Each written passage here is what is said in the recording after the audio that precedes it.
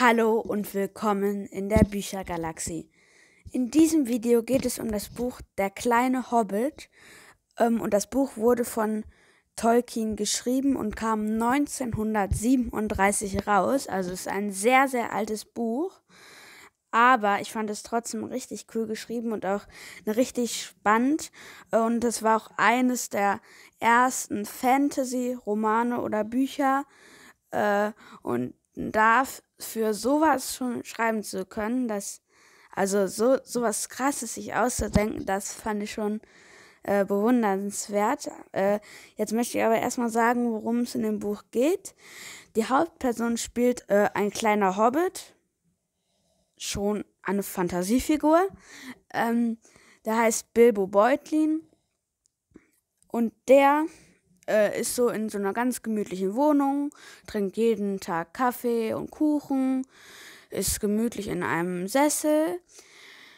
Und dann gibt es noch die zwei Hauptpersonen oder einfach auch mit der mit die Hauptperson. Da gibt es den Zauberer Gandalf, wieder eine Fantasy-Figur und dann noch zwölf Zwerge die Namen von denen kann ich mir nicht merken. Die, die heißen irgendwie äh, Bombur, Bofur, Kili, Fili und so weiter. Keine Ahnung, wie die jetzt alle heißen. Äh, und auf jeden Fall will der Zauberer Gandalf, so heißt der, dass der Bilbo Beutlin, der mag eigentlich keine mh, hm, Abenteuer, der mag es einfach nur gemütlich im Sessel zu sitzen, aber der Zauberer möchte von ihm, dass er mit den zwölf Zwergen und ihm in ein Abenteuer zieht.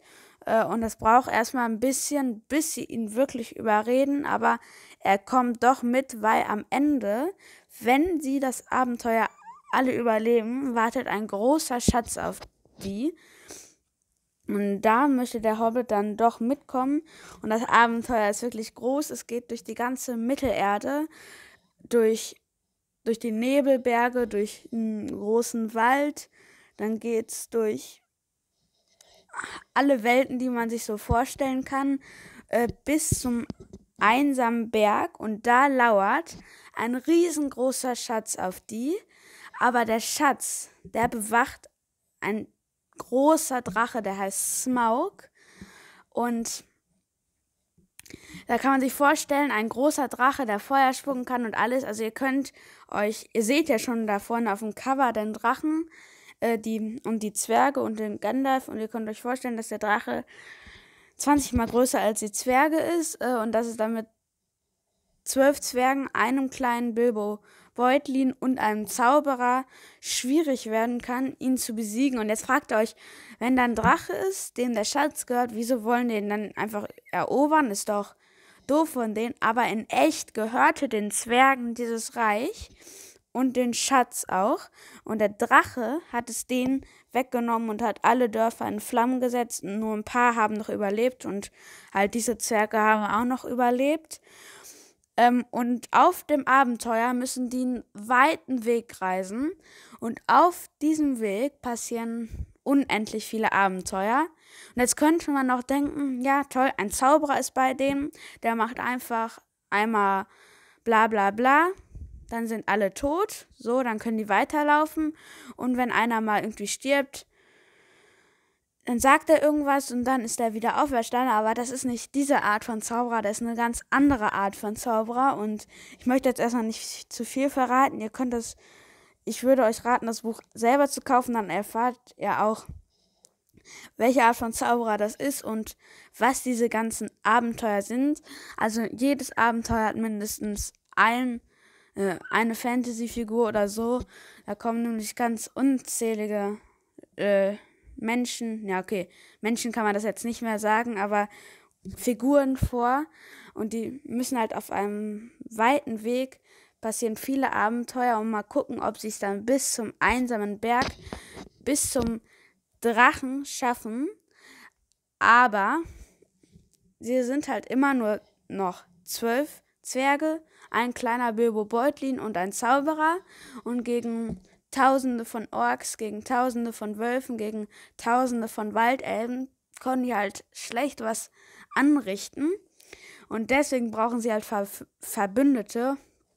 Ähm, und ich möchte nicht zu viel verraten, ihr könnt da selber lesen und dann werdet ihr schon herausfinden, äh, ob sie es irgendwie schaffen, das Abenteuer zu lösen. Das war erstmal von meiner Sicht der kleine Hobbit. Ah, und ich habe noch eine Sache vergessen. Ähm, äh, der kleine Hobbit, da gibt es auch eine Verfilmung zu.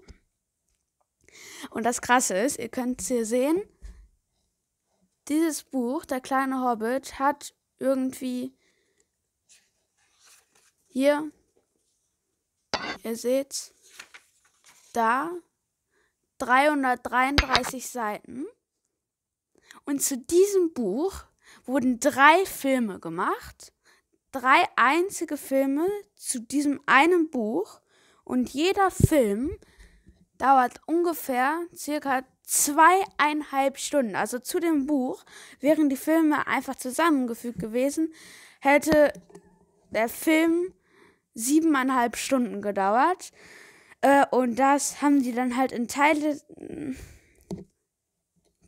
zerteilt, denn dass aus jedem Film, drei, also dass aus dem ganzen Film drei Filme wurden und jeder Film dauert einfach zweieinhalb Stunden ungefähr. Und ich habe mir auch alle angeguckt und das war sowas von krass gemacht. Also wer von euch schon Harry Potter geguckt hat, das war ja auch richtig krasse Animation und alles. Wir sagen, von der Animation her war der kleine Hobbit besser. Also noch manchen, in manchen Szenen stärker gemacht, aber mit stärker meine ich auch, es gibt am Ende Krieg und, äh, und ganz viele andere Sachen. Und also ich bin jetzt gerade zehn Jahre alt und ich habe das gesehen und für mich war das okay. Die bewährt, also die schätzen, man sollte den Film ungefähr ab zwölf, ab zwölf kann man den gucken. Die Harry Potter schon gesehen haben und das Buch gelesen haben, die können die Filme auch gucken mit neun oder mit zehn. Aber manche vertragen das vielleicht auch noch nicht mit zwölf. Also muss man ja vielleicht einmal einen Trailer gucken und dann weiß man ungefähr, ob das ein Film für sich ist. Äh, und dann, also ich fand die Filme gut, aber wie schon beim ersten Buch äh, Wunder, ich empfehle euch wirklich das Buch zuerst lesen.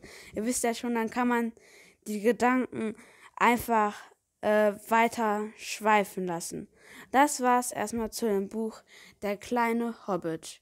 Ah, und noch eine Sache habe ich vergessen. Der kleine Hobbit, das ist die Vorgeschichte zu Herr der Ringe. Ähm, und Herr der Ringe hat ja auch Tolkien geschrieben und das ist die Vorgeschichte zu Herr der Ringe. Also wer Herr der Ringe irgendwann mal lesen will, ähm, empfehle ich wirklich, also ich habe Herr der Ringe noch nicht gelesen, will es aber auch mal bald lesen, dem empfehle ich wirklich, der kleine Hobbit zu lesen, weil es auch ein, weil der kleine Hobbit ein fantastisches Buch ist. Ciao.